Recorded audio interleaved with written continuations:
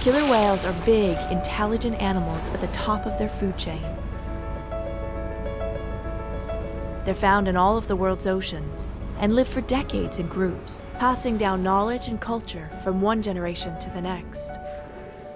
But their days here in British Columbian waters might be numbered. Endangered by many threats to their safety and their food supply, some of the killer whales here are at risk of being lost for good.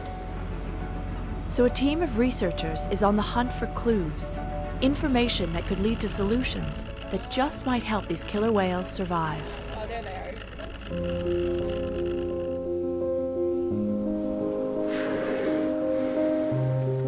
Three genetically distinct groups are found here in the Northeast Pacific Ocean. The offshore killer whales, they're rarely spotted and we know very little about them. The transients, or Bigg's killer whales, who mainly eat marine mammals and travel through the waters of Southern California up to Alaska. And the resident killer whales, fish eaters broken into northern and southern populations. Water and noise pollution, increased shipping traffic, and a shrinking food supply have impacted killer whales here, and now most of these groups are listed as threatened. With fewer than 75 individuals left, the southern residents, classified as endangered, are especially at risk.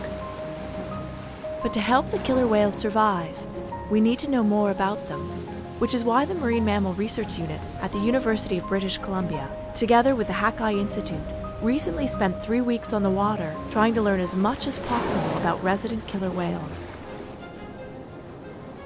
They're hoping to find out more about what they eat and how they hunt. The team filmed killer whales using drones, which allowed them to record undisturbed behavior of the animals in their natural setting.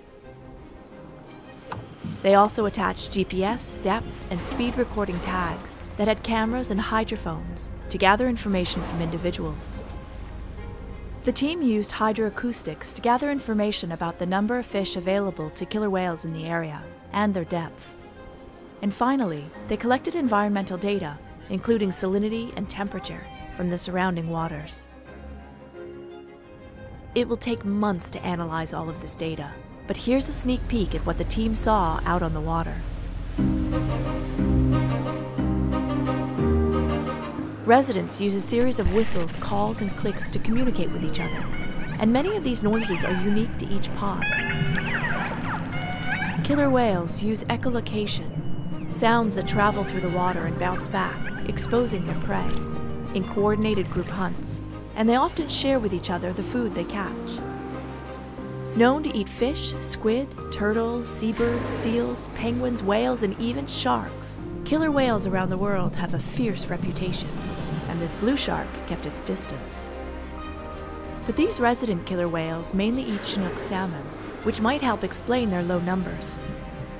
Salmon are less abundant than they once were, and the resident killer whales might be having a hard time finding enough to eat. Killer whales start having babies when they're around 15 years old.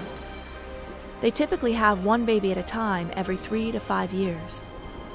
Recently, though, only a few resident killer whale calves have been born, and many of those aren't surviving. Hopefully, the efforts of this trip will give us new insights into killer whales and how to help them survive well into the future.